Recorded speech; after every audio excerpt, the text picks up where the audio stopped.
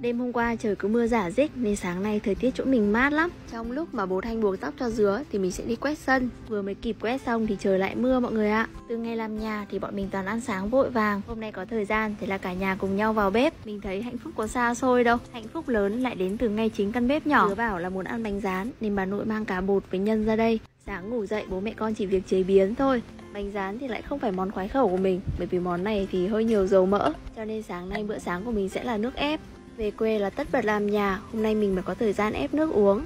Bây giờ thì đổi chỗ một chút, mình sẽ đi dán bánh, còn bạn Thanh thì sẽ giúp mình gọt dứa. Bếp rộng rãi nên hai vợ chồng mình cùng nấu nướng một lúc vẫn thoáng lắm. Bạn dứa ngồi trên nhà tô mầm một lúc cũng chán rồi, nên là mình rủ dứa xuống cùng làm. Máy nhỏ gọn mà thao tác cũng dễ, mình chỉ cần hướng dẫn một xíu siêu thôi là dứa đã biết làm rồi. Con thấy nấu ăn có vui không? Em này thì phần bã ép ra cũng khá là kiệt Ép rau cũng khá là ok. Bởi vì là trước thì mình đã dùng qua em này ở nhà bạn mình rồi Nên là về mới mua. Bạn dứa bạn ấy háo hức quá nên cho hơi nhiều Thành ra là cái máy nó bị tắc. Nếu mọi người dùng em máy này mà bị tắc thì đằng sau nó có một cái công tắc mình chỉ cần ấn ngược lại là được. Bình thường thì mình ít ăn cà rốt lắm nhưng mà đây là cách để mình thêm cà rốt vào cơ thể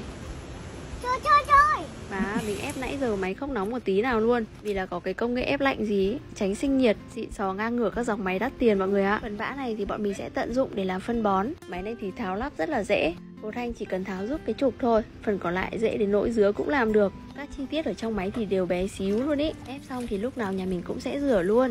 Để thêm vừa lười, lại còn vừa bị khô lại, khó vệ sinh hơn nữa. Buồn cười cái chỗ này, Mình cứ cậy cậy, Về sau mới biết là chỉ cần tháo cái này ra Rồi mình xả vòi nước vào là nó đã sạch rồi. Hôm tới nắng lên, mình phải thử cái máy này làm kem cho dứa mới được. Nhà có cô con gái hay nói hay nịnh cái gì cũng muốn làm cho. Mời cả nhà cùng ăn sáng với nhà dứa nhé